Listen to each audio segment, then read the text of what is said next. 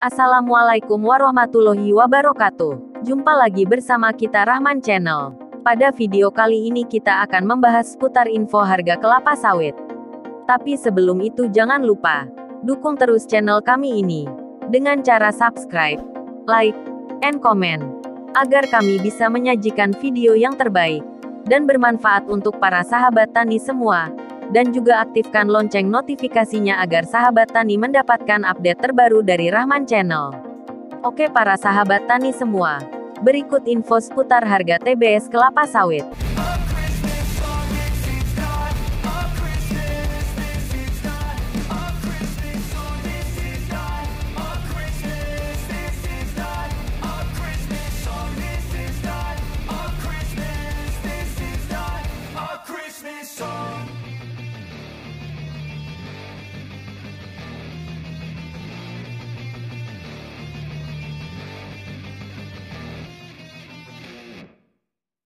Pasca Presiden Joko Widodo umumkan secara resmi tentang pencabutan larangan ekspor CPO dan turunannya. Tapi hingga kini harga TBS masih belum juga meningkat, malahan mengalami penurunan. Berikut harga TBS sawit Provinsi Riau periode 25 sampai 31 Mei tahun 2022 yang mengalami penurunan setelah dibukanya keran ekspor CPO dan turunannya tanggal 23 Mei tahun 2022 kemarin. Merujuk hasil dari Tim Penetapan Harga Tandan Buah Segar, TBS Sawit, Provinsi Riau.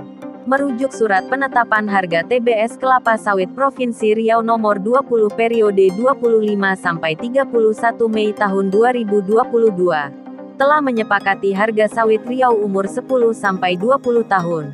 Turun Rp424,81 per kilogram menjadi Rp2.693,45 per kilogram. Berikut harga sawit Provinsi Riau berdasarkan penelusuran info sawit. Sawit umur 3 tahun Rp1.994,62 per kilogram.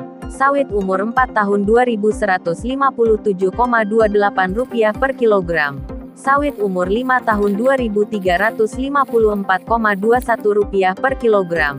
Sawit umur 6 tahun Rp2.410,34 per kilogram. Sawit umur 7 tahun Rp2.504,43 per kilogram. Sawit umur 8 tahun Rp2.573,23 per kilogram.